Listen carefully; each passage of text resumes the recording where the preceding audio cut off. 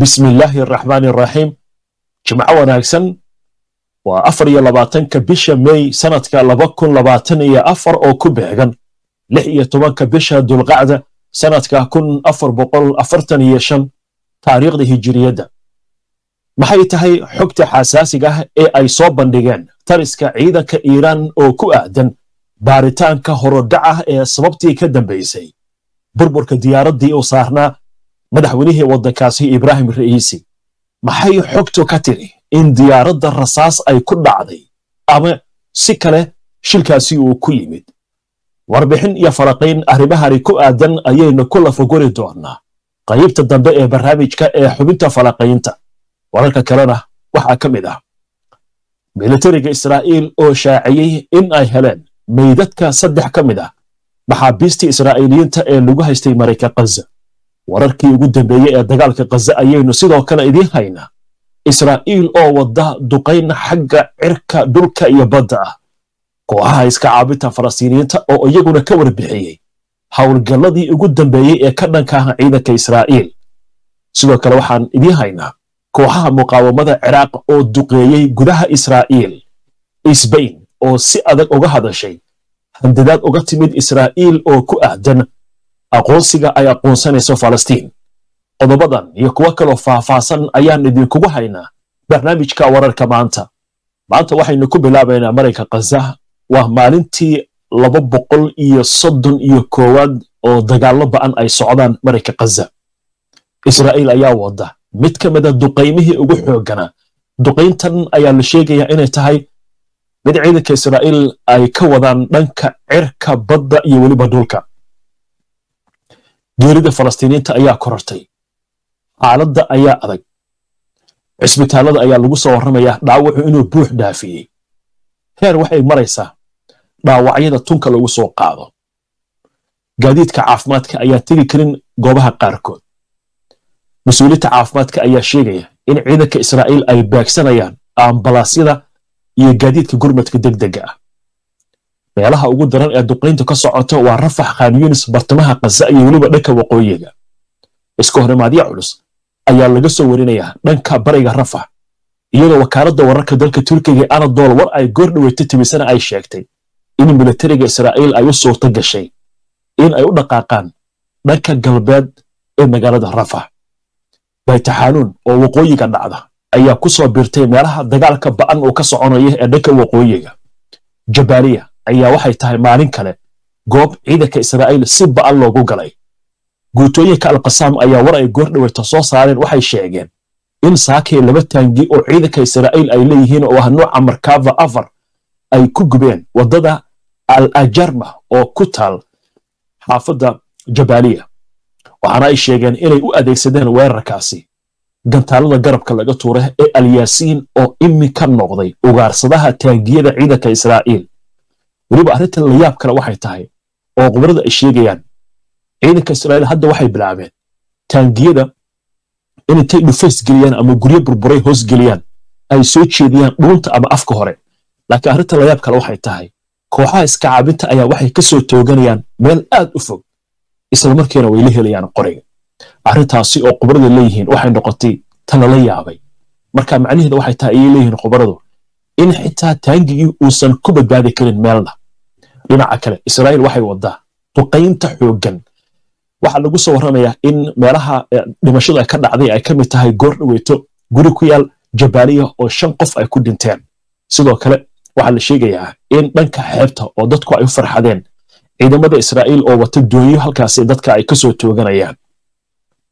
Macluumaadkan sidoo kale waxaa ka mid ah in militariga israa'iil goor dhaweyta ay ku dhawaaqeen in ay soo heleen meydadka saddex ka mid ah maxaabiistii ciidanka maxaabiistii israa'iiliyiinta ee xoogaga iska cabinta falastiiniintu ay gacanta ku hayeen. Raadiyaha militariga israa'iil ayaa waxa uu ku sheegay dadkan inay kala yihiin hanaan iyo volka michael nsumbom iyo qof markaasi isagu la sheegay inuu ahaa dalxiise oo lagu magacaabo oran hernandes hadalkan ayaa waxaa lagu sheegayaa in militarigu saddexdan qof meydkooda ay ka soo heleen xaafadda jabaaliya. Waxaana la sheegay in lagu helay macluumaad ay iswadaarsadeen ciidamada israa'iil gaar ahaan guutada la yidhaahdo iyo haloom iyo ciidanka israa'iil kuwa u qaabilsan dhanka sirdoonka oo kaashanaya laanta sirdoonka in shipet. Militariga israa'iil sidoo kale waxay sheegeen inay ku tala jiraan in ay helaan xogaha kale ee ku aadan dadka israa'iiliinta ee lagu haysto marinka khaza haddaba warkan markii uu soo baxay isla markiiba dadka ka hadlay waxaa ka mid ah hogaamiyaha mucaaradka yair labid. Waxa uu sheegay in meydadkan la helayo ay ka macno tahay in inta nool aan loo awoodin in la soo daayo. Marka wuxuu leeyahay waxaa muhiim ah in si degdega lagu helo heshiis xabeed joojina oo lagu soo daynayo dadka maxaabiista ee la haysto. Haddii kale wuxuu leeyahay meydadka ayaa inoo soo laaban doona. Intii iyagoo nool aynu ku guulaysan lahayn inaynu si nabada ku soo dayno. Ra'iisul wasaaraha israa'iil benjamin netanyahu oo isna arrintan ka hadlay ayaa sheegay inay ka go'an tahay maxaabiista ama iyagoo nool ama iyagoo dhintay meydadkooda inuu keeni doono gudaha israa'iil oo uu soo celin doono. Durbiba waxaa leeyahay hadalkaasi wax aad uga carooday qoysaska ehelkooda lagu haysto marayka khaza kuwaasi oo sheegaya in aan rajo laga qabin in la helo maxaabiistaasi oo nool. Laakiin iyagoo meyda in la celiya ay u badan tahay taasina ay tahay midda ay ka soo horjeedaan. Waxaana durbo bilowday barnaabaxyo amuurtaasi ku aadan kooxaha muqaawamada ee ciraaq saldhigooda uu yahay ayaa lagu soo warramaya inay sheegteen inay saakay weerar ku soo qaadeen magaalada dekadda leh xayfa ee waqooyiga israa'iil. Dhanka kale militariga israa'iil ayaa waxay sheegteen in ay soo rideen diyaaradda nooca droniska ah mana sheegin diyaaraddaasi meesha ay ka timid laakiin warkan ayaa isku soo aadaya sida ay leedahay warbaahinta israa'iil. Waa tahay. Intiini la socotay wararka iyagii ugu dambeeye ee maalmihii la soo dhaafay waddamada sbain ireland iyo norway ayaa ku dhawaaqay inay dowlad rasmi u aqoonsanayaan falastiiniyiinta. Haddaba arrintaasi waxay keentay caraw weyn oo dhanka israa'iil ka timid. Heer waxay gaartay israa'iil ay yeerato safiiradeeda ka joogay waddamadaasi sidoo kale waxaa la sheegaya intaasi ay keentay in mas'uuliyiinta israa'iil ay sheegaan inay go'doomin doonaan oo ay ka aargudan doonaan dalalkaasi. Haddaba dowladda waddanka sbain ayaa arrintan jawaab ka soo saartay. Wasiirka arrimaha dibadda ee dalka sbain jose manuel albres ayaa waxa uu sheegay in aysan jiri karin cid soo faragelin karta go'aamadooda isla markaasna ku samayn karta cagajuglin iyo handadaad ku aadan go'aanka ay ku qaateen in ay u aqoonsadaan falastiin dowlad rasmi ah. Wasiirka ayaa waxa uu dalbaday in loo baahan yahay si degdeg ah in lagu joojiyo dagaalka. Wuxuu sheegay in xaaladda ka socota bariga dhexe gaar ahaan marayka kaza ay tahay mid aad u liidata. Wuxuuna yidhi waa in la helaa dowlad falastiin ah oo bariga qudus ay noqotaa caasimadda falastiiniyiinta. Hadalkan markuu ka yeeray durbadiiba wasiirka arrimaha dibadda ee israa'iil israel katis ayaa wuxuu ku dhawaaqay in ay ka joojinayaan safaaradda sbain ay ku leedahay israa'iil inay u adeegto dadka falastiiniyiinta ee ku dhaqan daanta galbeed. Marka wuxuu leeyahay macaamil ay la samayn karto ma jirto. Dadka doonaya fiisaha ama waxyaabo kale inay safaaradda la macaamilin ayuu sheegay in go'aankaasi maanta uu qaatay. Wuxuu kula leeyahay go'aamo kale ayaynu qaadan doonaa. Laakiin sbain waxaa leeyahay arrintaasi si adag ayay uga hor timid dooda kale ee taagan iminka waxay tahay hadal ay jeedisay haweeneyda madaxweyne ku-xigeenka ka ah sbain waxay sheegtay xalay muuqaal iska soo duubtay. In falastiin ay xor noqon doonto. Weliba erey waxay sheegtay ay aad u necab yihiin dadka israa'iiliyiinta oo ah falastiin inay xor noqon doonto laga soo bilaabo webiga ilaa iyo badda. Maxaa loola jeedaa marka? Waa dhulka iminka israa'iil xitaa ay sheegato oo dhan in falastiin ay leedahay falastiiniinta arrinkaas ku dooda. Webiga marka maxaa loola jeedaa waa badda mootan ama webiga jordan. Ilaa iyo badda mediterraneanka inta u dhaxaysa yani in falastiiniintu ay leeyihiin marka waa erey xitaa noqday in waddamada reer galbeedka iyo maraykanka la yidhahdo waa erey cunsuriyad ku ah dadka yuhuudda. Ah oo aad loo diida xitaa oo dadka lagu ciqaabay xitaa inay haddii hadalkaasoo kale ka sheegaan meelaha qaarkood. Laakiin gabadhan video bay soo duubtay marka. Arrintaas marka waxay dhalisay caro weyn oo dhanka israa'iil ka taagan. Waxaa leeyahay markaa sbain waxay u muuqataa in ay u tafaxaydatay in arrinta qadiyadda falastiiniinta ay meel saarto. Waaye haddaba arrintaas markii ay soo baxday gaar ahaan aqoonsiga saddexdaasi wadan ay aqoonsanayaan falastiin israa'iil waa iyada ku tilmaamtay gaar ahaan ra'iisul wasaare netanyahu go'aankaas uu ka macno yahay iyadoo abaalmarin looga dhigayo argagixisada arrintaas marka maanta waxaa ka hadlay ninka u qaabilsan arrimaha dibadda ururka midooda yurub joseph borel wakaaladda wararka reuters oo soo xoganaysay borel ayaa waxa uu sheegay in aqoonsiga falastiin uusan ahayn hadiyad la siinaya xamaas laakiin ay tahay in dadka falastiiniinta waxay istaahilaan ay tahay arrintaasi wuxuuna leeyahay waxaa loo baahan yahay sidii looga dhammayn lahaa laba dowladood oo nabad ku wada noolaada oo falastiiniinta israa'iil ay leeyihiin. Wuxuu leeyahay falastiiniinta waa in la siiya xuquuqdooda. Dhinaca kale isla midooda yurub ilaa laba boqol oo ka mid a shaqaalaha ururkaasi ayaa waxay soo saareen bayaan ay ku saxiixan yihiin. Bayaankaas ayaa waxay ku leeyihiin dhammaan hay'adaha iyo mas'uuliyiinta ururka midooda yurub. Sidii loo baahnaa waxba ugamaysa qaban wax ka qabashada dhibaatada dhanka bini'aadamnimo ee ka taagan marayka khaza waxaana ay ku baaqayaan in waddamadooda ay ku dhaqmaan qiyamkooda islamarkaasna ay ka shaqeeyaan nabad laba boqol iyo koob iyo toban qof oo shaqaalahaasi ayaa waxaa la sheegay warqadaas inay saxiixeen. Waxaana la sheegay in loo diray saddexda mas'uul ee ugu sarreysa ururka midooda yurub. Iyagoo markaasna sidoo kale dhaleecaynaya toddobada oktoobar dagaalkii dhacay laakiin waxay leeyihiin waxaa loo baahan yahay in wax laga qabta arrintan ka taagan marayka khaza isla amuurahan ku aadan aqoonsiga falastiiniyiinta waxaa moodaa waddamo kale oo yurub ka tirsan dariiqaas inay qaadaan inay ku dhowdahay.